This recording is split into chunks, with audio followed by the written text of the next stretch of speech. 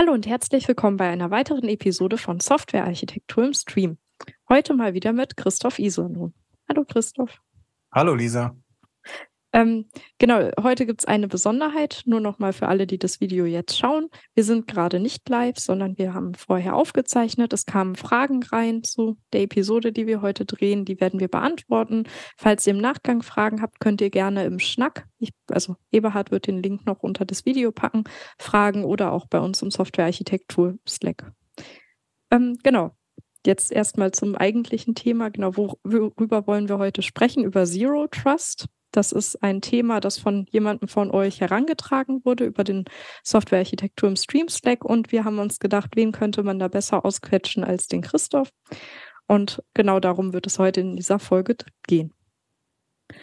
Also die aller, allererste Frage, die ich jetzt mal stellen wollen würde, ist, wo kommt Zero Trust überhaupt her? Also dieser Begriff? Ja, äh, das ist ja zum Glück noch eine fast einfache Frage. Im Gegensatz zu der Frage, was ist das überhaupt? Ähm, äh, wo kommt das her? Äh, bekannt wurde das durch ähm, den John Kinderwack von Forrester Research, äh, also äh, war damals, damals bei Forrester Research als Analyst angestellt.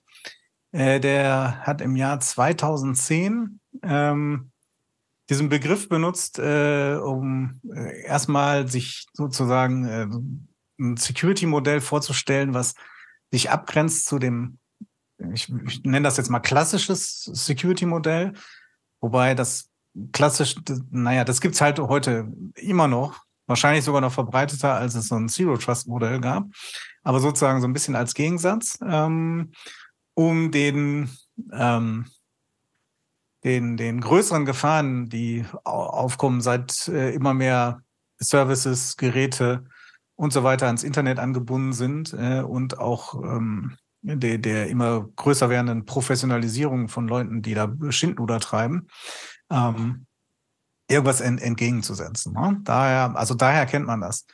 Der Begriff ist schon deutlich älter. Äh, die Wikipedia sagt, äh, eigentlich kommt der 94 von einer äh, Dissertation von äh, Stephen Paul Marsh. Ähm, da geht's äh, äh, um ein, ähm, also er, er benutzt auch den ähm, ähm, Begriff Zero Trust und da geht es um eine äh, Formalisierung des, des äh, also von Trust, von Vertrauen in, äh, in äh, Computernetzwerken beziehungsweise Konzepten. Das hat aber nicht so viel damit zu tun, wie wir das heute verwenden. Deshalb ist das, wenn man das auf den John Kinderwag zurückführt, schon richtig. Ne? Also ähm, ich finde es interessant, was für Themen, also wenn man da mal reinguckt, äh, das ist aus 94, kann man im Internet abrufen. Äh, da geht es äh, zum Beispiel auch um ähm, äh, also die Domain of Distributed Artificial Intelligence, also eigentlich ein hm. Thema, was gerade wieder top aktuell ist. Aber da natürlich um was anderes. Da hat man sich noch so vorgestellt, dass Agenten für einen, also äh, äh, KI-Agenten im Netz für einen Dinge tun und äh, wie da Vertrauens, äh, Vertrauen zwischen Agenten, zwischen Agenten und Systemen und Usern und Agenten und so hergestellt werden kann. Und äh, da sind ganz viele Aspekte drin, die äh, von Moral bis Regulierung und sonst was gehen in Sachen äh, Trust. Und äh, hat nicht ganz so viel mit dem zu tun, aber da war der Begriff wohl äh, schon früher da. Und äh, unter verschiedenen anderen Namen wurden ähnliche Konzepte wie der Kinderwag die beschrieben hat, auch schon äh, vorher be beschrieben. Ne? Es gibt dann ähm, einmal ähm, vom Jericho Forum, das ist so, eine, so ein Symposium, Veranstaltung für IT-Systeme, auch schon äh, früher, ich weiß das ja nicht so genau, ich glaube, also Anfang der 2000er Jahre, also bestimmt fünf, sechs Jahre vor, bevor John Kinderwag äh, mit, mit, mit seinem also mit seiner Definition kam äh, sowas von äh, Deperimetrisierung. Also wir haben so eine Perimeter-Security ähm, und äh, der Begriff Deperimetrisierung äh, kam da schon auf. Äh, und gleichzeitig hat Google auch angefangen, sowas wie eine Zero Trust äh, Architektur aufzubauen für sich. Die nennen das Beyond Corp. Das kann man auch als Produkt irgendwie kaufen, aber nur auf Anfrage. Und, und das entstand wiederum äh, sozusagen auf ähm, den, es gab da mal, ich weiß nicht, wann es genau war, ähm, eine, ähm, größere, ähm, größerer Hackerangriff auf die amerikanischen äh, IT-Riesen und zwar von äh, chinesische, also vom chinesischen Geheimdienst oder von äh, Hackergruppen, die dem chinesischen Geheimdienst äh, näher stehen, ähm, die dann in alle möglichen Systeme eingedringen sind, unter anderem bei Google, Akamai, Yahoo, äh, was weiß ich was, überall ganz viel ähm, dabei. Und das war so ein bisschen so eine Reaktion darauf, ähm, dass man, wenn die Leute im Netzwerk sind, halt äh, nicht sozusagen den Totalschaden hat.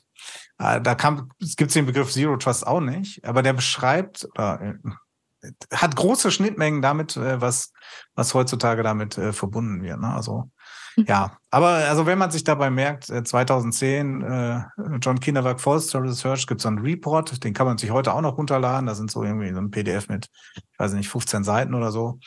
Äh, kann man kann man auch noch mal reingucken. Aber Vorsicht ist geboten. Das, was da so drin steht, damit kann man heute gar nicht so viel anfangen. Ne? Also das hat sich natürlich jetzt auch ausdifferenziert, äh, was damit gemeint ist oder vor allem auch, wie das konkret umgesetzt wird. Das ist, aber da hat das so seinen Ursprung. Also sagen wir mal so in den letzten zehn Jahren kam das so in den IT-Mainstream rein als mhm. Begriff. Ne? Finde ich lustig, du hast gesagt, das kann man ja noch relativ einfach beantworten, wo der Begriff herkam. Das klang jetzt alles schon mal gar nicht so einfach. Also war ja schon eine kleine Abhandlung, wo schon überall der Begriff aufgetaucht ist. Ähm, aber man kann jetzt nicht, also kannst du mir einfach beantworten, was ist Zero Trust? Nee, das ist äh, deutlich schwieriger. Also bei dem anderen hätte ich jetzt auch einfach ja chronologisch vorgehen können und sagen, ja, da gab es die Dissertation, da ist der Begriff vorgekommen mit einer Bedeutung, die jetzt heute nicht mehr gehabt hat, und dann das Jericho Forum und Google und dann hier den, den John Kinderwack und das sozusagen als Initialzündung. Könnte man machen. Und dann ist die Antwort einfach. Ne? Ich habe jetzt ein bisschen Kontext gegeben, da hört sich kompliziert an, aber ähm, äh, ist dann einfach. Aber äh, was, was sich dahinter verwirrt, das ist deutlich schwieriger, weil da gibt's jetzt nicht die einheitliche Definition darüber, äh, äh was ist das, sondern ähm, das ist ganz unterschiedlich. Kommen wir mal zu den, fangen wir mal mit Negativbeispielen an. Das kann ich als Produkt kaufen. Ne? Also so Netzwerkausrüster haben auch so Zero Trust äh, Produkte äh, als Software auf ihren Routern oder als Spezialsoftware oder in ihrer Firewall und da steht dann das Label Zero Trust drauf. Und was meinen die damit? Also was machen Ja, das, das ist sehr unbekannt. Das ist ja Marketing so. und Werbung und nicht unbedingt das, was man vielleicht damit verstehen will. Aber das ist, äh, was ich sagen will, das ist halt, erstmal, erstmal ist das kein Produkt, was ich so kaufen kann. Ne? Auch wenn dann die das Label draufschreiben, das ist jetzt Zero Trust. Das mag auch vielleicht unterstützend sein, um Zero Trust Architektur bei sich zu verwirklichen. Aber ich kann das nicht kaufen. Das ist äh, äh erst, es ist kein Produkt, was ich so habe. Mhm. Ne? Sondern das äh, kann man vielleicht sagen, das sind Architekturprinzipien, die ich ähm, äh, einsetze, ne, um okay. zu einem anderen Sicherheitsmodell zu kommen. So. Ähm, welche das sind, können wir äh, gleich mal äh, schauen.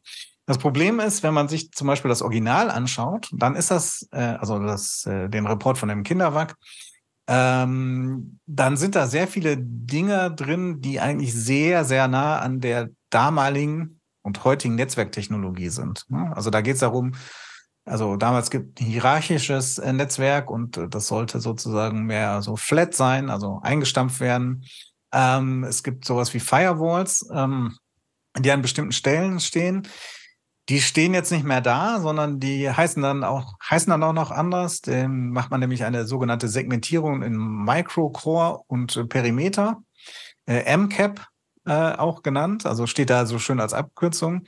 Und da steht aber nicht drin, wie man die macht. Und äh, dann wird aber gesagt, ja, das kann man auch mit einer Firewall machen, aber ähm, in irgendeinem äh, YouTube-Video, wo er so einen Vortrag hält, da sagt er auch, ja, man wollte es aber halt nicht wieder Firewall nennen, damit keine Verwirrung herrscht und hat eigentlich noch mehr Verwirrung erzeugt. Ne? Aber da war es sehr auf die Netzwerkebene beschränkt. Und heutzutage ist es halt nicht nur Netzwerk, sondern da spielt, äh, ist das so ein, so ein, so ein äh, äh, Mischmasch äh, oder komplizierteres Beziehungsgeflecht zwischen dem Anwender von äh, IT-Services, der Authentifizierung dem Kontext, in dem sich der Anwender bewirkt und in dem ähm, äh, das Netzwerk steht, das äh, Gerät, mit dem der Anwender darauf zugreifen will, ne, sein Mobiltelefon, sein Rechner ähm, und äh, die eigentliche Applikation. Ne? Und äh, da sind dann ganz viele Aspekte. Und dann könnte man sagen, man kann bestimmte Designaspekte dazu nehmen, ähm, um äh, diese Architektur an den verschiedenen Stellen, Schnittpunkten, die ich jetzt genannt habe, äh, dann äh, einzuführen. So, das ist eine Möglichkeit, das zu erklären. Wir können auch eine andere Versuch nehmen, dieses, äh, wir äh, stellen das gegenüber zu dem klassischen Perimeter-Security-Modell. Magst vielleicht du das vielleicht nochmal kurz erklären, Perimeter Security?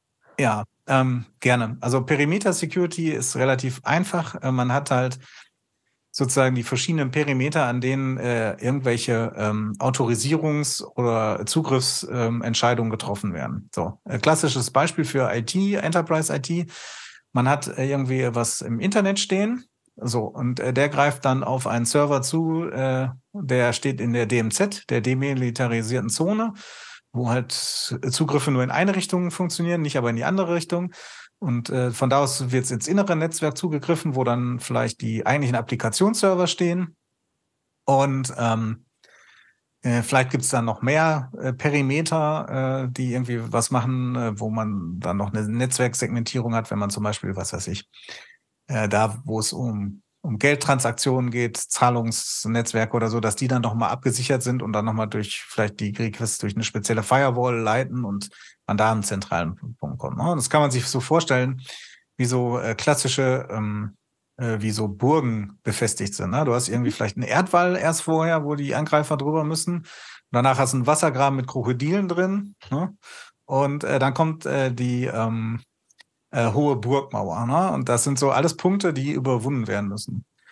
Aber, und jetzt kommt das, wenn du den Perimeter überwunden hast an einer Stelle, dann kannst du einer, innerhalb des Perimeters alles machen. Ne? Also wenn ich äh, sozusagen intern in der Burg bin und da das Feuer lege, äh, davor ist jetzt erstmal kein Schutz da durch diese Perimeter. Also der, der Wall außerhalb der Burg nützt mir nichts äh, gegen den äh, äh, inneren Feind, der das Feuer legt und die Burg äh, dann niederbrennt. Ne?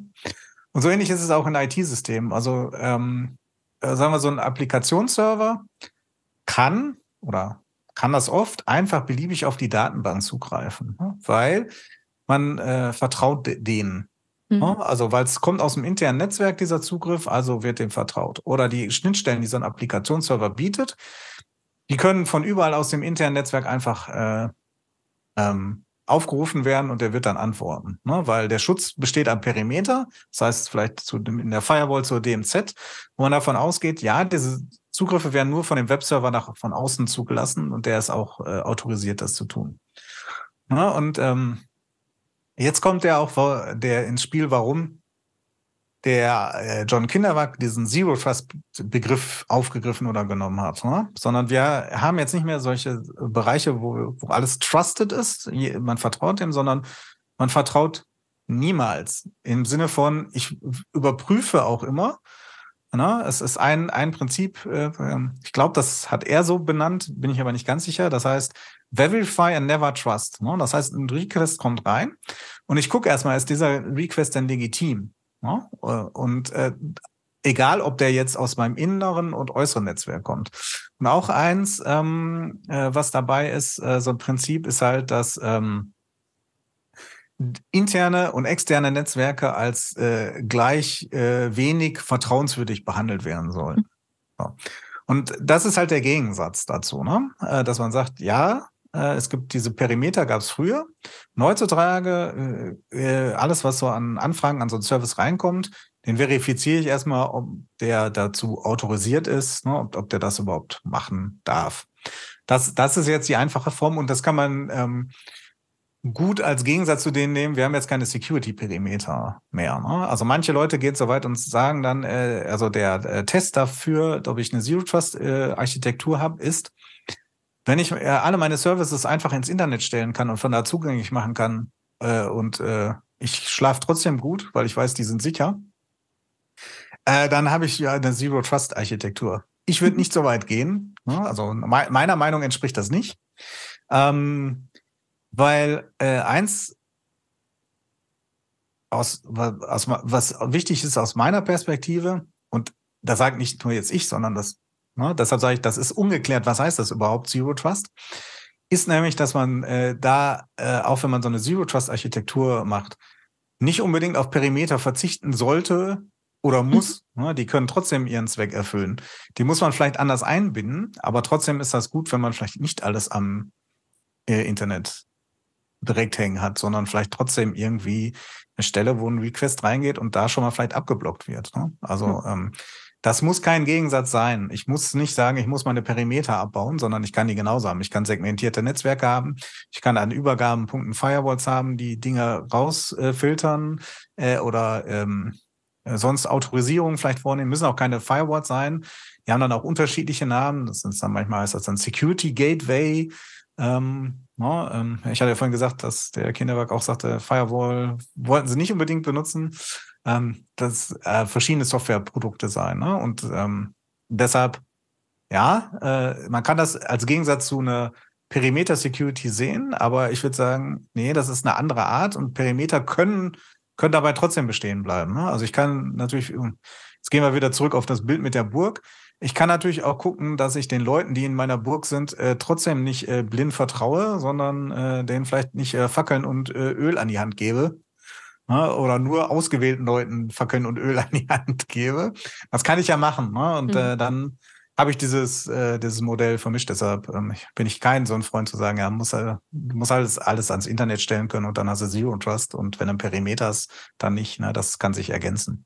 Aber für die, für die Herleitung bringt das halt was, ne? um zu sagen, aha, nicht nur, weil wir in der gleichen Netzwerkzone sind. Ne? Und ähm, wenn wir das jetzt erweitern, bezieht sich das nicht natürlich nur auf Services, sondern auch sowas, ich hatte ja vorhin gesagt, User Authentication, Kontext und so.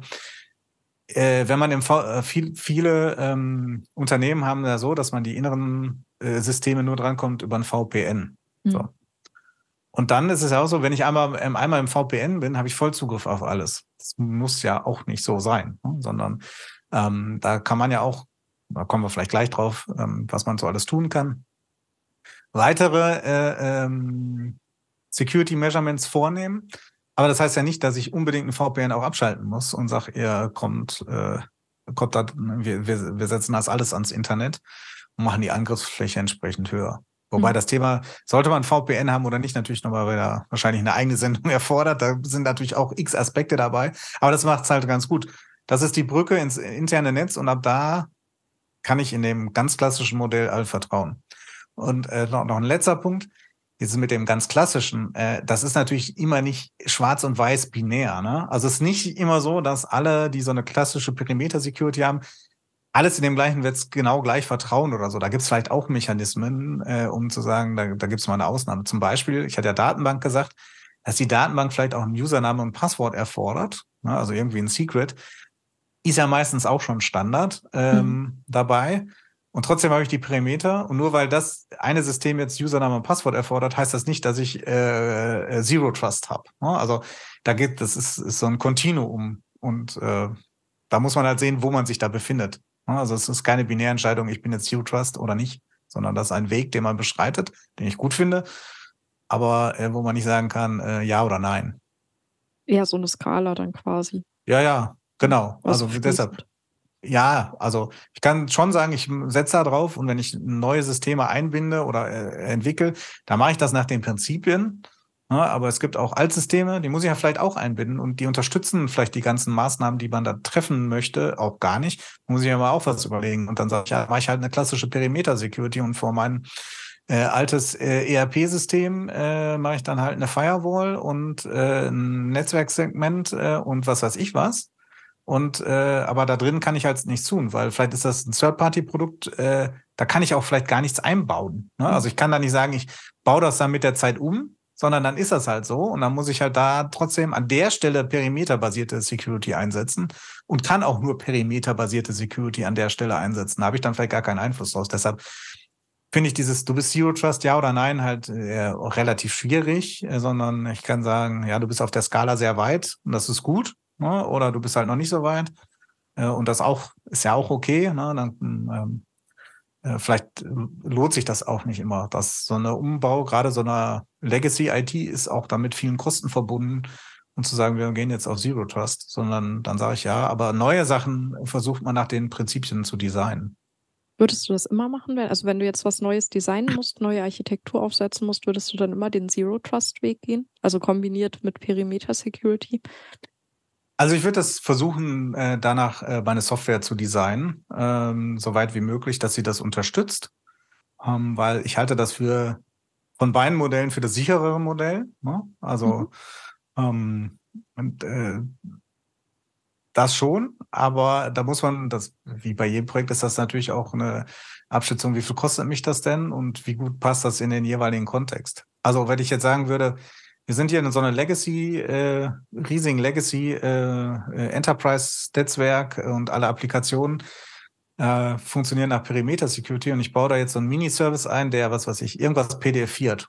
So, mache ich meinen Microservice zu, weil es einfacher ist, an, als irgendwelche uralten Legacy-Software was ranzubauen, die, was weiß ich, in COBOL geschrieben sind. Und dann mache ich einfach so einen Service, der mir das macht. Ob sich da lohnt, äh, dann Zero Trust einzubauen, äh, wage ich zu bezweifeln, weil alles andere nach Perimeter geht und da jetzt erstmal kein, kein, äh, äh, kein, kein nicht in Sicht wäre, äh, dass, dass das jetzt zeitnah umgestellt wird, dann muss man sich überlegen, ob sich das lohnt. Ne? Mhm. Aber gehen wir jetzt mal so von aus, so ein System entwickelt sich weiter und wir machen mehr als ein Service da rein, sondern äh, wir haben eine Roadmap, in den nächsten fünf Jahren wollen wir das und das und das und dafür brauchen wir neue Services. Dann kann ich, würde ich schon sagen, ja, äh, da sollte man schauen, äh, dass ich äh, mir die Prinzipien anschaue und gucken, welche ich benutzen ja. werde. Dann lass uns mal über die Prinzipien sprechen. Also welche Prinzipien verbergen sich hinter Zero Trust? Ja, ähm, das Wichtigste hatte ich ja genannt, Verify Never Trust. Äh, da kommen wir gleich mal dazu, ähm, was das genau bedeutet. Ähm, äh, die ist auch nicht äh, 100% äh, gleich äh, bei den Definitionen. Also äh, von dem Kinderwack äh, kommt ja das. Der sagt dann auch noch Inspect and Log All Traffic. Ne? Das heißt, mhm. alles, was im Netzwerk äh, so kommt, das schaue ich mir auch an auf Anomalien äh, oder auf Dinge, die nicht passieren sollten. Dann Designprinzipien von innen heraus, ne? also nicht äh, äh, zu sagen, ich kümmere mich nicht darum, sondern ich stelle einen Perimeter darauf, sondern ich baue das entsprechend ein. Was so ein Prinzip ist, wo ich sage, ja, das ist schön, was, aber da verbirgt sich konkret alles und gar nichts hinter. Ne? Ähm, naja. Äh, dann soll man mit Compliance, äh, Design with Compliance im Mind, wo ich sage, hm, das ist vielleicht auch schwierig, mal zu sagen, was heißt das? Compliance kann so überall unterschiedlich sein und dann Embed Security into Network DNA. Äh, auch komplett schwierig. Ne? So, äh, ich habe das jetzt gesagt, ähm, um das mal äh, entgegenzustellen zu anderen Definitionen. Ja. Ähm, zum Beispiel von äh, den englischen Network Cyber Security Center heißt es, glaube ich. Also äh, äh, die NIST hat auch so eine Definition, aber jetzt äh, einmal von, von, von den Engländern. Und die machen a Single Strong Source of User Identity. Ne? Dahinter verbirgt sich dann Authentifizierung. Also der User, der das benutzt, äh, das will ich äh, äh, klar haben, wer ist das? Ähm, ne? Und äh, diese Identity sollte auch nur aus einer Quelle kommen. Das heißt, nicht in jedem System habe ich x tausend User äh, unterschiedlicher Art, sondern ich habe eine zentrale Nutzerverwaltung Ne, was weiß ich, typischerweise also sowas wie ein Active Directory, OMLDAP, oder wenn man externe nimmt, hat man das vielleicht in Okta oder aus Zero und wie die alten Anbieter heißen. Ähm, die Technik spielt jetzt auch erstmal keine Rolle, aber ich habe ganz klar, wer das ist. Ne? Also der äh, CI äh, ist jetzt nicht in dem einen, kann nicht in dem einen System jemand anders sein, ne? weil die alle separate Nutzerverwaltung haben. Ne? In so einem Großkonzern äh, was weiß ich, mehrere zehntausend Mitarbeiter, da werden Leute den gleichen Namen haben. So. Mhm. Und dann da zu sagen, äh, wer ist das jetzt nur? Wer, wer, wer verbirgt sich dahinter, ist halt schwierig. Also will man zentral haben. Dann äh, User Authentication. Ne? Das heißt, okay, wie, wie stellen die denn sicher, dass sie das auch sind? Also die Identität ist klar, zentral gemanagt, aber die müssen sich auch immer anmelden, dass man weiß, äh, der Nutzer hat, ist das jetzt auch wirklich und nicht irgendeiner, der per Phishing die Credentials gemacht hat. Ne? Und dann kann man so Prinzipien nehmen wie Two-Factor Authentication ne? und sagen, okay, äh, der Nutzer muss halt sich mit zwei Faktoren anmelden. Da haben wir eine ganze Reihe an Risiken ausgeschlossen, so alles was oder viel was Phishing angeht äh, oder Passwort äh, äh, ähm, Leaks auf anderen Seiten, wo man vielleicht dasselbe benutzt hat und so weiter. Das kann aber auch heißen, jeder Nutzer kriegt einen äh, Passwortmanager und äh, dieses äh, doppelt verwenden oder so passiert dann vielleicht nicht mehr. Ne? Mhm. Gibt es ja auch eine Möglichkeit. Wäre auch eine, eine Umsetzung dieses Prinzip von Strong User Authentication.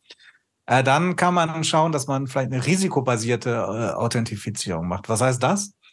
Ähm, wenn man sich so, was weiß ich, bei Google, Yahoo und Microsoft anmeldet, äh, dann scheitert das manchmal, wenn man irgendwo ist, wo man sonst noch nicht war. Ich bin am Flughafen, ich bin irgendwie meilenweit weg. Dann hast du das vielleicht schon oder auch die äh, Zuschauerinnen vielleicht mal mitbekommen, dann kriegt man eine Mail, ja, bist du das mhm. wirklich? Hast, was, ne? Wir kennen dich nicht, wir kennen deine Maschine nicht. Ne? Ähm, und äh, dann kann man halt sagen, äh, das ist sozusagen risikobasiert. Es werden ganz viele Faktoren genommen. Wo meldet es, sich der an? Ist das eine öffentliche IP-Adresse? Ist das eine interne IP-Adresse? Hat er sich da schon mal angemeldet? Ist das Gerät vielleicht schon bekannt? Ne? Also der hat sich auf diesem Gerät angemeldet oder ist ein neues Gerät? Und dann äh, mache ich noch zusätzliche weitere Faktoren. Ne? Zum Beispiel, dass ich in der E-Mail erstmal sagen muss, ich klicke auf den Ding und sage, ja, das bin ich jetzt auch wirklich. Ne? Und dann hat man nachher nicht mehr zwei Faktoren, sondern drei Faktoren. Ja die man gemacht hat, äh, sowas.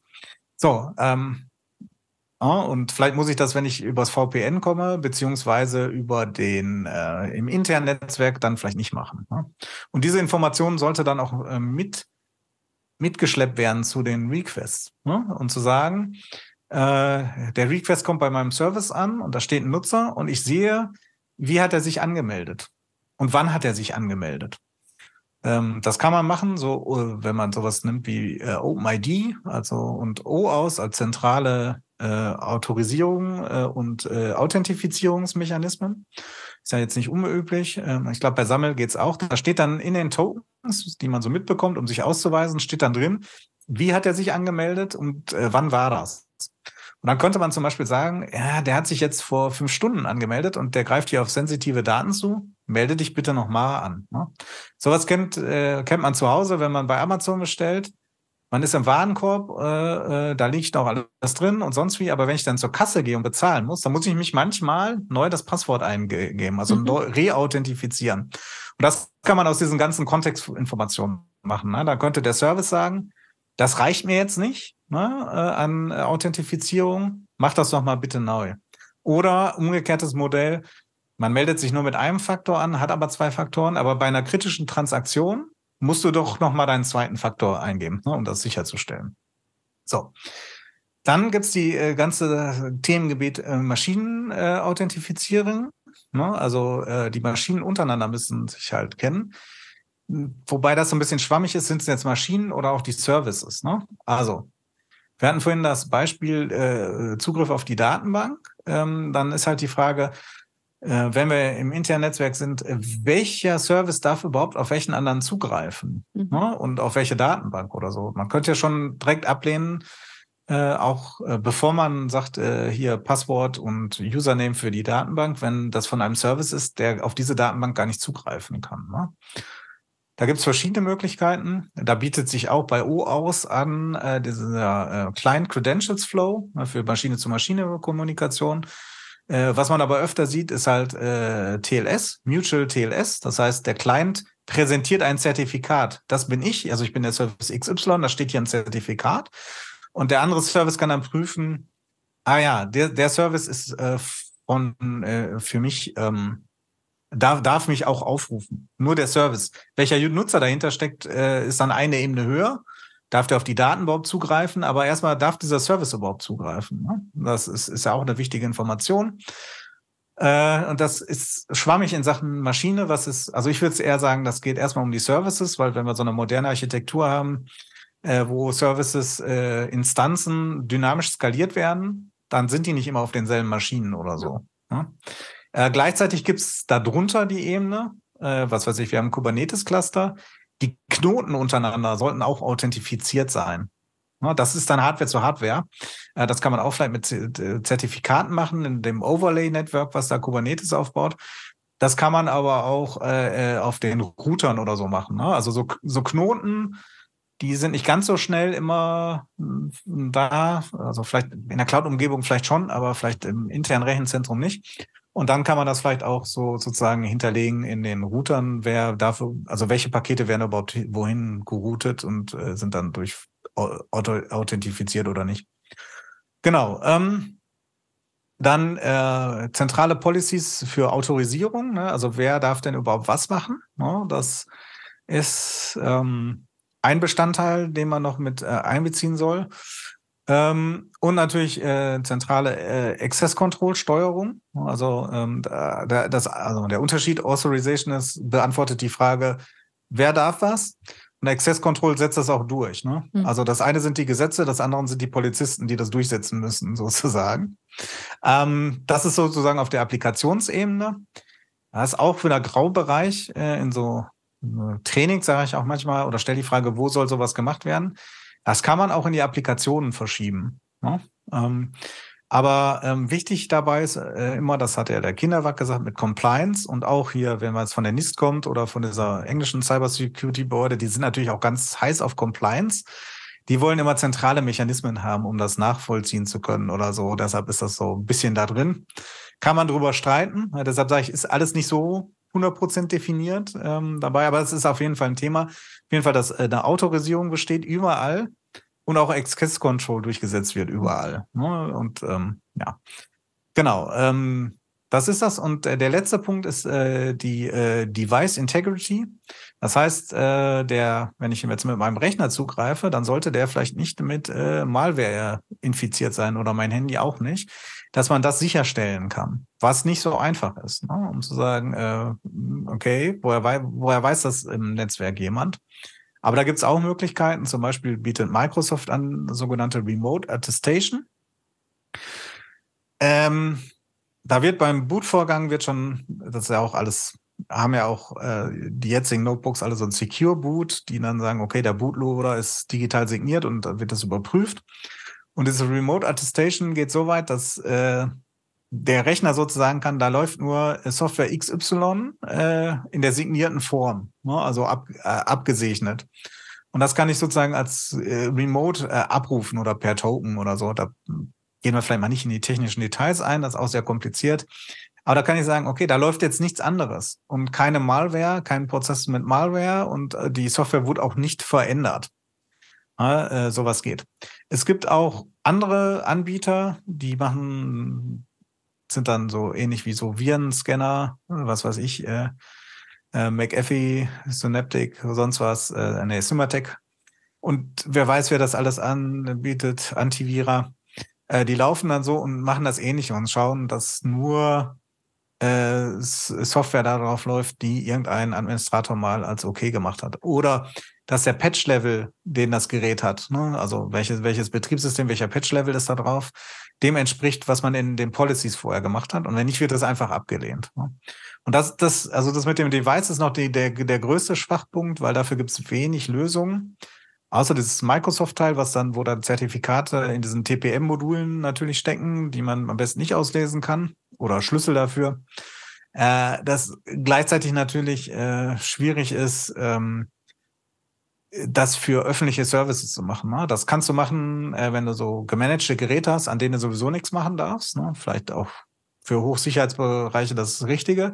Aber wenn man heutzutage, also so typische Entwicklerrechner sind ja Bring Your Own Device, ne? Du mhm. meintest mit dem das, oder du kriegst halt ein MacBook, wo relativ äh, oder nicht nur MacBooks, sondern auch ein Windows-PC oder Linux, was drauf ist, wo du relativ viel Kontrolle selbst drüber hast. Da sind, ist sowas extrem schwer umzusetzen, äh, zu sagen. Also die müssen schon gemanagt sein und ja, also in Entwicklerkreisen, Entwicklerinnenkreisen ist das nicht so gern gesehen, ne, wenn man dann halt irgendeine Software braucht und dann kann man, muss man erst um irgendeinem Administrator gehen, der einem das installieren kann oder es freigeben muss oder das dann erst geprüft werden muss und so. Das ist dann oft schwierig. Während jemand, der Sachbearbeiter, Sachbearbeiterin vielleicht irgendwo ist, das ist egal. Der startet seine drei Programme und arbeitet immer mit denen. Da ist das vielleicht auch ganz gut. Ne? Aber Device Integrity ist ein wichtiger Punkt für diese Zero Trust äh, Sache, ne? weil wenn das Device infiziert ist in irgendeiner Form und kommt per VPN rein und kann Dinge da machen, dann kann die Malware da auch eingreifen. Ne? Und das ist halt schlecht. Genau. Das sind sozusagen jetzt die Prinzipien mehr aus der NIST und äh, dieser NC, äh, NCSC, also dem britischen Pendant, ähm, die da aufgeschrieben werden, die finde ich deutlich greifbarer, als was der Kinderweg da mal gesagt hat. Außer Verify, I never trust. Das heißt, ein Request kommt rein und äh, ich mache Verify. Aber was heißt Verify? Ich gucke den User, User Authentication, Machine Authentication beziehungsweise Service Authentication, äh, Device Integrity, das könnte ich alles äh, gucken. Ne? Und dann ja, habe ich das überprüft und dann gucke ich, äh, ja, ist denn der äh, User auch berechtigt, darf der das tun und wird das durchgesetzt? Also Access Control und Authorization. Da hat man dann alles drin. Wie setzt man das um? Der Rest ist so ein bisschen ja, schwammig. Ja.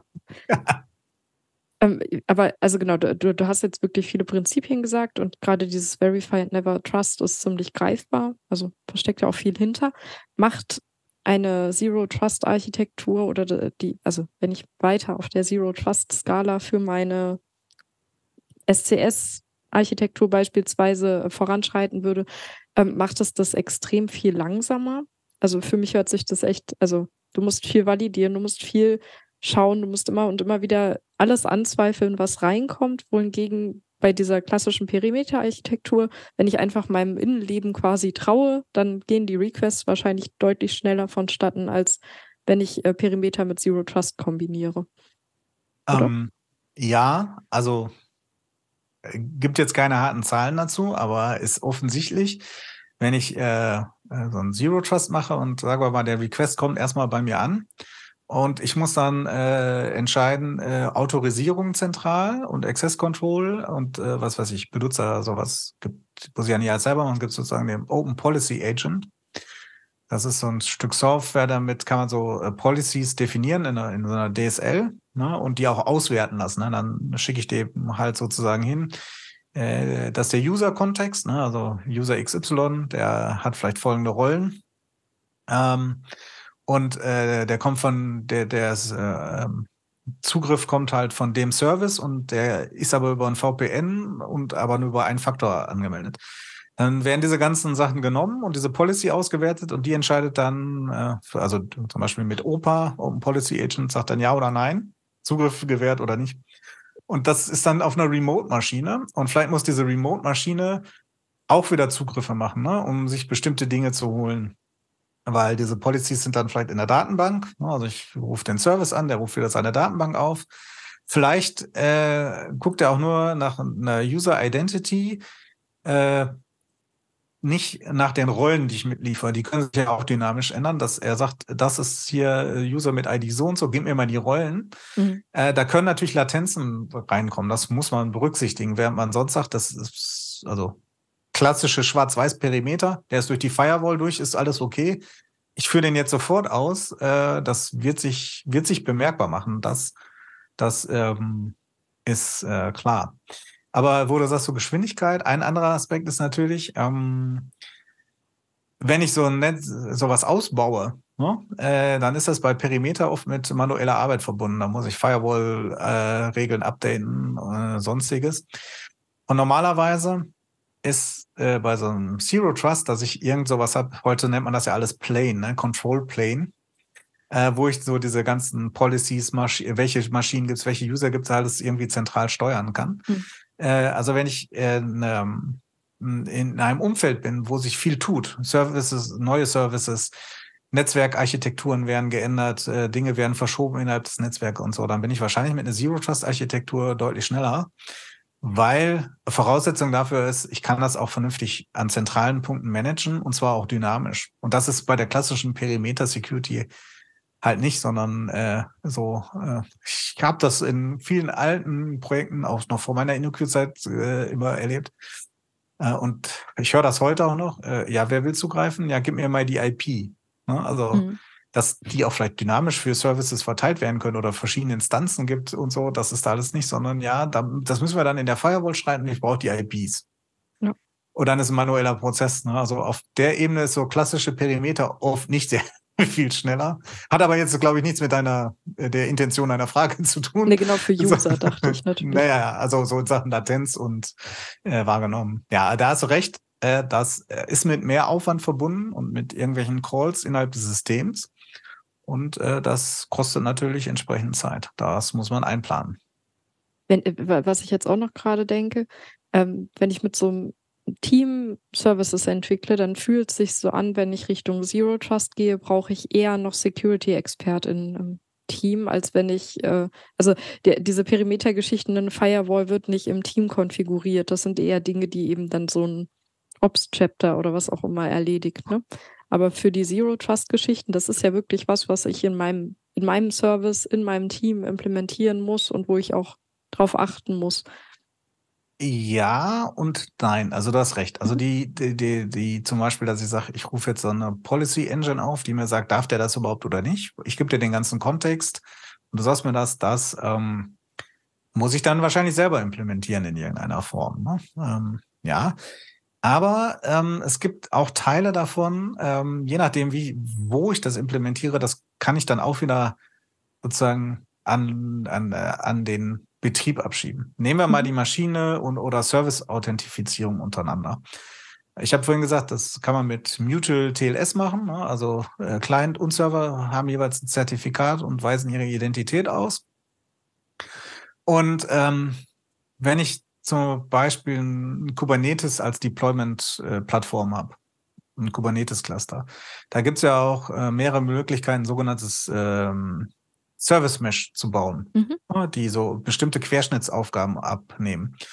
Und die meisten Service Mesh Implementierungen, die ich kenne, können auch dieses Mutual TLS mit Identitäten der einzelnen Services, können die von sich aus machen. Da brauche ich mich um die Ebene schon gar nicht mehr kümmern, weil normalerweise, was heißt normalerweise, aber oft ist es ja so, dass die Teams, die die Software entwickeln, nicht auch noch gleichzeitig den Kubernetes Cluster pflegen, Ne? Kann auch so sein, ne? natürlich, dass wir selber fliegen, dann müssen wir es auch machen. Aber das könnte man zum Beispiel äh, abschieben äh, an jemand anders, äh, der sich darum kümmert, um die Last äh, von sich zu nehmen. Genauso bei der User-Authentifizierung. Ne? Wenn ich ein zentrales System habe, äh, der das auf OpenID, sagen wir mal, basiert, äh, dann habe ich irgendwo einen Service, der diese Authentifizierung macht und dann kommt ein Redirect vielleicht später bei mir an mit einem Token und äh, diese Tokens zu überprüfen erstmal oder zu validieren, ob die gültig sind. Äh, dafür gibt es in jeder Sprache Bibliotheken. Mhm. Oder es gibt auch das Muster von so, solchen äh, Proxys, die das machen. Ne? Also ähm, können, können einige hier, ähm, äh, der Envoy oder so, der kann auch Tokens überprüfen. Andere können das auch. Ähm, das muss ich auch nicht neu erfinden. Und dann äh, kann ich den zum Beispiel vor meinen Service stellen. Meiner hört dann nur auf Localhost. Und die, die äh, eigentliche Abwicklung nimmt irgendein Proxy davor äh, äh, an, der, der Aufruf und der kann zum Beispiel diesen O aus OpenID-Kram könnte er mir abnehmen. Oder wie, wie gesagt, wenn ich jetzt Bibliotheken, brauche ich mich dann auch nicht drum kümmern. Ne? Und auch für so OPA, ne, Open Policy Agent, ne, nehmen, nehmen wir mal an, wir würden das benutzen. Ähm, dann ähm, gibt es dafür auch fertige Bibliotheken, um zu sagen, um das Ding anzusprechen äh, dabei oder SDKs, Heutzutage sind das ja mal SDKs, wie man sowas benutzt. Das heißt, sowas ist auch handelbar. Man muss auch sehen, wie viel davon und in welcher Tiefe setze ich das denn jetzt um. Und wo setze ich auch meinen Schwerpunkt? Mache ich alles auf Ebene des Users oder mache ich es auch Ebene, mehr auf der Maschinen-Service-Ebene? Und äh, rückt dann auf der Skala halt erstmal nur ein Stückchen vor. Ne? Das, äh, wie gesagt, alles auf einmal wird man sowieso nicht umbauen können. Und von daher, ich glaube, dass geht, wenn man sich nicht überwältigen lässt und sagt, oh, das sind so viele Punkte, sondern einfängt und sagt, okay, wir haben sowieso ein Service Mesh für äh, Monitoring und Logging und Latenzmessung. Da bauen wir jetzt noch das MTLS ein und die Maschinenauthentifizierung ne? oder Service-Authentifizierung vielmehr. Äh, dann kann man da schon viel machen, ohne dass das Team explodiert an den Aufgaben und sagt, wir machen jetzt nur noch Zero Trust, aber überhaupt keine Business Features mehr. Aber PU ganz schön traurig, wenn man nur noch Zero Trust macht und keine Business Features. Ja, ist wahrscheinlich so, ne? Aber ja, muss man sehen, man kommt auch an, wo man steht, ne? Wenn ich eine COBOL-Anwendung habe, wird es wahrscheinlich schwieriger. Ich kenne mich jetzt nicht so aus in COBOL, aber ich glaube, die äh, Anzahl der ähm, OpenID und OAuth-Bibliotheken ist da wahrscheinlich überschaubarer als in anderen Frameworks und Programmiersprachen. Ne? Also klar, da muss man halt sehen. Ne? Manchmal lohnt sich der Aufwand halt auch nicht. Ähm, genau, ähm, du hattest vorhin schon so ein bisschen über Legacy gesprochen, das Thema immer mal wieder angeschnitten und wir hatten über den Schnack eine Frage reinbekommen im Vorfeld und zwar von Ben. Die würde ich dir gerne einmal weiterleiten und du kannst sie dann beantworten. Ähm, ben fragt, was sind die größten Herausforderungen beim Übergang von einem traditionellen Sicherheitsmodell zu einem Zero-Trust-Modell in einer großen föderierten Umgebung mit vielen Altsystemen und wie können sie überwunden werden? Wie können sie überwunden werden? Das ist äh, Wahrscheinlich abhängig von Fall zu Fall. Da gibt's keine pauschale Antwort, äh, wie man sagen kann, äh, müsst, hier ist der Plan zu Zero Trust und wenn er dem folgt, dann habt ihr das in einem Zeitraum X geschafft. Mhm. Ähm, es gibt aber schwierig, also schwierig, Stellen, wo sich immer Schwierigkeiten herausstellen, zum Beispiel an so der Grenze zu, äh, wir machen die neue Software und wir haben das Legacy-Zeug. Ne? Und ich hatte das am Anfang mal gesagt, äh, wie, inwieweit, also fra relevante Fragen sind da, wie weit kann ich denn das Legacy-Zeug noch beeinflussen? Ne? Also mhm. sind, das heißt Legacy äh, erstmal zugekauftes Third-Party-Zeug, kann ich vielleicht gar nichts machen. Ne? Ähm, und dann hat man da so eine Sollbruchstelle, da kann ich halt kaum Zero Trust machen. Oder habe ich das? Aber das ist, äh, wie man das so manchmal aus Legacy kennt. Keiner weiß mehr genau, wie es funktioniert. Die ursprünglichen Entwicklerinnen sind alle schon äh, in Pension und Rente gegangen. Äh, die Dokumentation ist dürftig, äh, es baut vielleicht gar nicht mehr so. Ja? Mhm. Also man kann gar nicht deployen oder Deployment ist immer äh, ein, ein Riesentheater, weil automatisierte Tests fehlen. Äh, da dann natürlich sozusagen anzufangen, Zero-Trust-Prinzipien ranzuklopfen, das wird natürlich extrem schwierig. Ne? Und das sind halt genau diese Bruchstellen zwischen Legacy und neuer Software. Ähm, da äh, wird's dann, wird's dann halt äh, schmerzhaft, weil äh, ich habe einmal gesagt, manchmal lohnt sich das nicht. Aber wenn ich es einbaue, äh, wenn ich sage, ja, es, nach und nach lösen wir das ab. Unser Zehn-Jahresplan ist, äh, hier die Legacy-Software abzu, äh, abzulösen. Da muss ich die neuen mit diesem Zero-Trust-Prinzipien aufbauen, aber gleichzeitig noch die Perimeter-Security beibehalten und auch Übergänge zu machen, ne? um zu sagen, wie sieht's jetzt aus? Ich habe eine Firewall, die beschützt mein Legacy-System. Und die kommt mit statischen IP-Adressen klar. Aber meine neuen Services sind hier äh, dynamisch provisioniert äh, nach Auslastung und die kriegen immer neue IP-Adressen. Oh, hm. Wie kriege ich denn die jetzt da rein? Na, und da fängt es dann an zu schmerzen und zu sagen, okay, äh, da müssen wir vielleicht äh, in dem neuen System den irgendwelche statischen IP-Adressen zuweisen und können keine kein äh, Autoscaling benutzen, weil neue Services halt nicht auf die alte Datenbank oder das alte Altsystem zugreifen können und so. Und genau in diesen Bruchstellen ist äh, die Schwierigkeit, beides bedienen zu können, ne? weil ja, ich designe nach sehr unterschiedlichen Prinzipien, muss ich aber erstmal eine ganze Zeit beide beibehalten. Ne? Und da, da schmerzt. Wie gesagt, wie kann man die am besten überwinden? Das ist eine Frage, die äh, kommt sehr auf den Kontext an. Also wie mhm. sieht die IT-Systemlandschaft äh, da aus? Äh, ähm, wie viele Legacy-Systeme gibt es? Kann ich die anfassen? Also anfassen im Sinne von, kann ich da noch eine Erweiterung schreiben?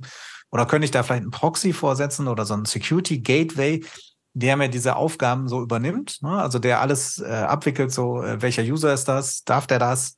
Äh, von welchem Service kommt das? Und dann nach hinten den Request weiterleitet und das Legacy-System weiß gar nicht, dass da irgendwo Zero Trust im Spiel ist, sondern denkt, ja, kommt aus meinem äh, Netzwerk, das ich kenne, ne? und von der IP-Adresse, die ich kenne, alles ist gut. Das kann man ja machen. Da ist halt die Frage, ne? Zum Beispiel äh, auch sehr wichtig, wie viele Endpoints äh, muss ich denn damit bedienen? Äh, wie viele Regeln äh, will ich denn jetzt anwenden darauf? Ne? Also ähm, kann ja vorher sein, ja, äh, es gibt Policies, die niemand überprüft hat und äh, jetzt muss ich die irgendwie umsetzen und dann habe ich halt 2000 Regeln auf einmal, also 2000 Policies, die irgendwie beachtet werden sollen. Dann macht das halt einen Unterschied, wenn, als wenn es die Policy gibt, äh, ja oder nein. Mhm. Ja, also deshalb, das, ist, das kann man nicht pauschal beantworten. Aber wie gesagt, größtes Problem sind die Bruchstellen zwischen alter und neuer Welt äh, weil ich da beides beachten muss. Und manchmal widersprechen sich halt auch die Prinzipien so ein bisschen oder nicht widersprechen sich, sondern stehen sich gegenseitig äh, im, im Weg. Ne? Und dann wird schwierig. Aber also äh, mich beruhigte deine Aussage von vorhin, dass es ohnehin nicht ein Zero Trust Ja-Nein ist, sondern ein, eine Zero Trust Skala. Also selbst wenn wir jetzt anfangen, wir haben, äh, haben dieses große kombinierte System, wir haben in der neuen Welt viel mit Zero Trust getan. Wir haben ja. es schwer, die alte Welt in die Richtung anzubinden. Wir haben ja trotzdem schon einen großen Schritt in die Richtung getan und sind auf dieser Skala weitergewandert, einfach wegen dieser Bemühungen in der neuen Welt. Also ich glaube, das ist auch irgendwie beruhigend zu wissen. Ja, also man sollte sich nicht einschüchtern lassen, weil sagen, äh, wir können es nicht erreichen, weil da so viel Legacy, sondern wir, wir können vielleicht nicht die 100 Prozent erreichen, aber für unsere neuen Systeme können wir das erreichen und haben implizit deutlich mehr Security als in den Altsystemen. Und äh, da schauen wir mal, wann wir die ablösen können. Oder ob wir die hinter so ein Security Gateway hängen können, der Teile davon übernimmt ne, und die so ein bisschen abschirmt. Also das geht, geht schon alles. Ne? Also, wie gesagt, das ist ja auch, wir haben einfach gesagt, viel Marketing und Produktverkaufen und sonstiges. Äh, also keine Angst vor Zero Trust. Eigentlich schöne Schlussworte. Keine Angst vor Zero Trust. Ähm, ja. Ich hätte noch mal eine andere Frage, aber vielleicht ist die auch komplett Banane. Ähm, ich finde es total lustig, dass du eben ganz am Anfang schon, also wirklich, wir spulen einmal bis zum Anfang dieser Episode. Du hast gesagt, dieser Begriff kommt einfach aus dem Jahr 2010, ne, wenn ich es jetzt richtig äh, mich erinnere. Und es gab sogar irgendwie 94 schon mal den Begriff in irgendeiner Dissertation. Also selbst wenn ich jetzt 2010 nehme, das ist jetzt auch 13 Jahre her, ne? Das ist schon gar nicht mal so frisch. Ähm, denkst du, es, also entwickelt sich irgendwas nach Zero Trust? Also was kommt dann? Weil ich finde es so lustig, dass wir über sowas Altes heute sprechen und die Leute interessieren sich. Also die Frage kam aus dem Publikum, sprecht doch mal bitte darüber. Und der Begriff ist schon so alt. Also ich finde es irgendwie lustig, dass es, äh, dass es eigentlich so alt ist und ich, genau, also meine Frage ist einfach nur, kommt was nach Zero Trust? Bildet sich da was heraus oder ist das jetzt einfach gerade das Ding und wird auch jetzt noch die nächsten 20 Jahre das Ding bleiben? Also ob das jetzt die nächsten 20 Jahre das Ding bleibt, äh, das weiß ich nicht. Äh, ich wüsste das gerne, ne? mhm. ähm, wenn man so ein bisschen planen kann, äh, wohin der Weg geht. Im Moment sehe ich kein anderes Security-Modell äh, so am Horizont, wo man sagen würde, aber das nehmen wir noch viel mehr. Ne? Ähm, sondern die Prinzipien sind ja auch gut. Äh, ich kann, aber was man sieht, und wo du sagst, jetzt auch zehn Jahre, äh, gut, das sind jetzt 50 JavaScript-Jahre, aber wenn wir in anderen Bereichen der IT sind, dann ähm, geht ja auch nicht immer so schnell. Also wir arbeiten heutzutage mhm. äh, auch noch wieder mit Microservices äh, ne, und der Begriff ist jetzt auch schon länger im Raum und äh, jetzt, das, da schwingt das Pendel, äh, jetzt kommt, kam der modulare Monolith dazu und sonstiges. Ähm, und die Begrifflichkeit, was heißt denn überhaupt Microsoft, hat sich auch so ein bisschen gewandelt oder sagen wir mal geschärft. Ne? Also es ist äh, vielleicht immer noch nicht 100% klar, was man darunter so versteht. Jedenfalls nicht formal. Ich kann nicht sagen, ab Zeile 501 ist es jetzt kein Microservice mehr, sondern ne, man hat so eine Vorstellung, aber das ist ja auch ein Konzept, was nicht so was auch viele Grauzonen hat. Bei Zero Trust ist es ja ähnlich. Da werden vielleicht auch noch neue Prinzipien dazukommen. Und manche werden vielleicht auch wieder verschwinden, weil sie sich nicht so als äh, tragbar äh, erweisen werden, ne? weil vielleicht der Aufwand zu hoch ist äh, in der Umsetzung äh, ähm, oder weil es aus anderen Gründen dagegen spricht. Ne? Und manche haben wir ja, die sind formuliert, haben die aber kaum er erreicht. Also das mit der Device-Integrität ist so ein Thema äh, in allen möglichen Zero Trust Architekturen und was man so kauft äh, oder anwendet, ähm, ist das sozusagen außen vor. Ne? Mhm. Und ich glaube, das wird, das wird die, also der Kern wird erstmal beibehalten und es werden vielleicht Dinge dazukommen, Dinge wieder rausfallen, weil sie sich als nicht machbar erweisen oder als äh, nur mit äh, unendlich finanziellen Ressourcen machbar erweisen. Ähm, trotzdem sollte man so, so ein bisschen auf der, der, wenn wir so die, die äh, ähm, äh, 10.000 Fuß Ansicht nehmen, da, äh, das wird eine ganze Zeit bleiben, auch wenn in den Details Unterschiede geben wir. Ne? Also zum Beispiel, wie werden wir die User authentifizieren? Da ist ja viel im Gang. Ne? Also noch mhm. sind die Passwörter äh, dominant, ähm, aber Apple, äh, Google und Microsoft pushen ja ihre Passkeys ja, äh, als äh, Passwortersatz. Was, was eigentlich mal, eigentlich war das ja mal ein, ein, ein zweiter Faktor. Ne? So mit ähm, WebOSN hat man irgendwie einen Hardware-Token oder so, hat sich nicht durchgesetzt, weil diese Hardware-Tokens sind halt im Handling doof, ne? kann man kein Backup machen, ähm, muss man extra Hardware kaufen. Jetzt bauen die drei Großen ne, das ein in ihre Geräte und so, dass man synchronisieren kann, ne, dass es äh, über biometrischen Schutz geht, nicht mehr über das Passwort. Ne? Und äh, das ändert sich und wird auf einmal nicht mehr der zweite Faktor. Kann man immer noch nehmen, aber wird propagiert als Passwortersatz. So. Also in Sachen User Authentication äh, ändert sich viel. Und ich glaube, auch wenn Passkeys nur ein Faktor sind, sind die für den Standard-IT-Nutzer in so, so, einem Konzern wesentlich sicherer als äh, ein Passwort. So, und da ändert sich halt viel. Ne? Und das ist alles unter dem User Authentication.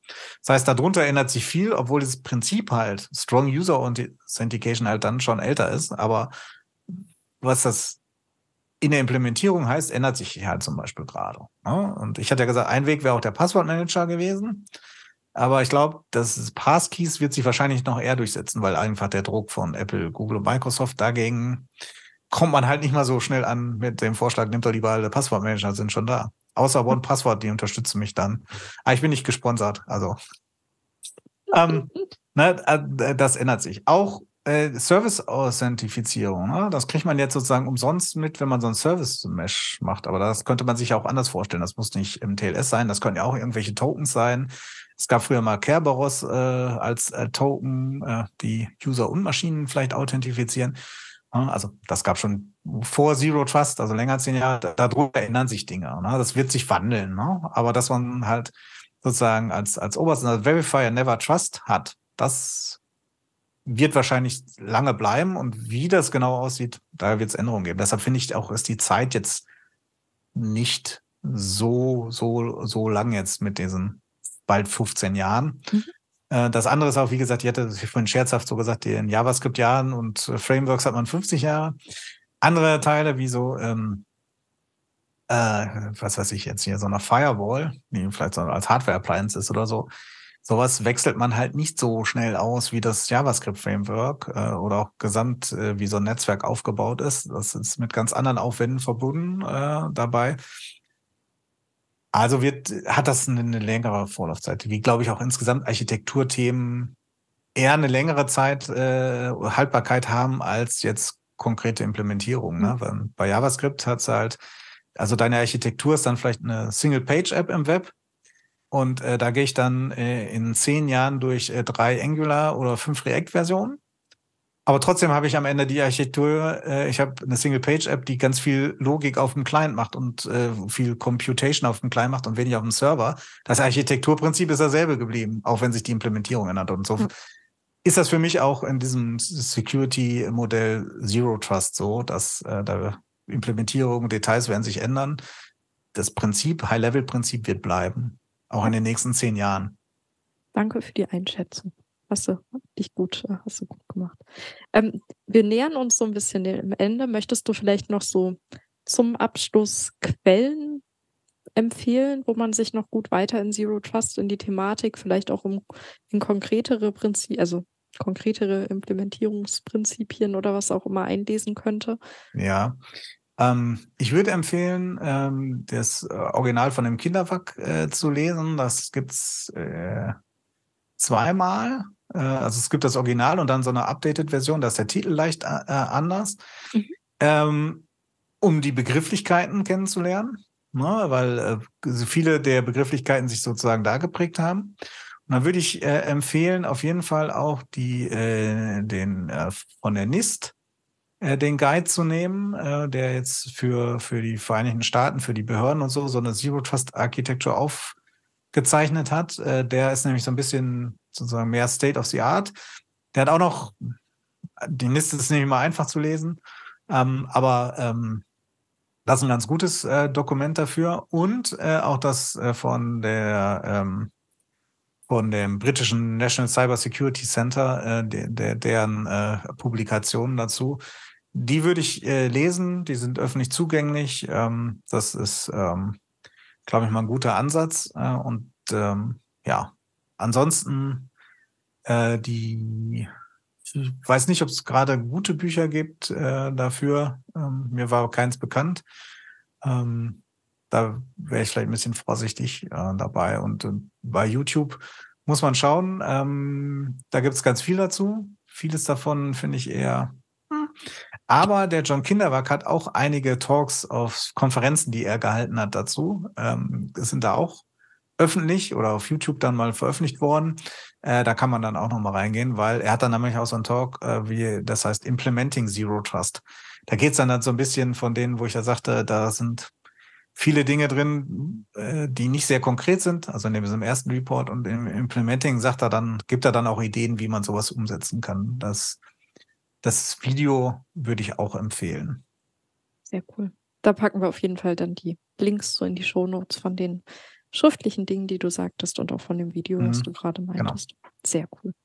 Ja, vielen Dank, Christoph, dass du heute hier warst. Ich glaube, ich muss mir jetzt ein T-Shirt drucken mit keine Angst vor Zero Trust. Fand ich irgendwie extrem lustig. Ähm, bleibt, also ich finde auch gut, wenn wir die, die Folge quasi unter diesem Motto beenden, keine Angst davor zu haben. Ähm, genau, danke, dass du dabei warst, dass du dir die Zeit genommen hast. Danke an euch da draußen, die ihr jetzt nicht live zugeschaut habt, sondern das Video aufgezeichnet angeschaut habt. Wenn ihr noch irgendwelche Fragen rund um das Thema habt, stellt sie gerne im Slack oder auch im Schnack. Der Schnack bleibt auch noch ein bisschen offen. Der Link dazu ist im Slack. Ähm, genau, wir werden die dann auch noch versuchen zu adressieren und zu beantworten. Und dann würde ich sagen, schönes Wochenende an euch alle. Ja, Tschüss. schönes Wochenende. Ciao.